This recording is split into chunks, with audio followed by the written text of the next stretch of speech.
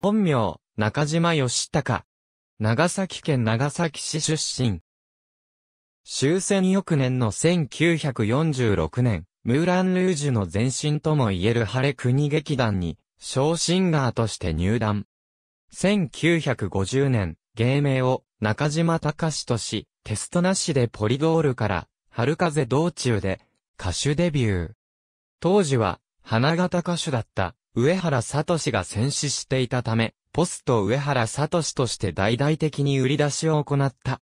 しかし、1952年に、ポリドールの資本系列が全面入れ替わり、方角レコードの制作中止という経営方針に変わったため、新プレコードが出せなくなってしまったため退社。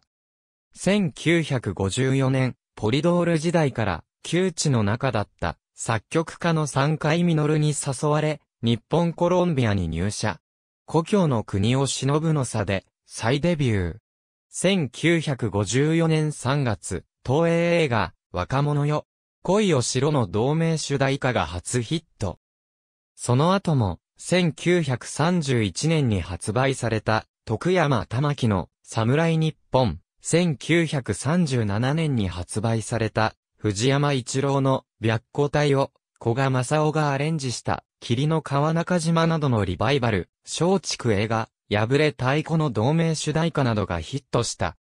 また、森重久也も歌っている、銀座のスズメも有名。2012年、若者よ。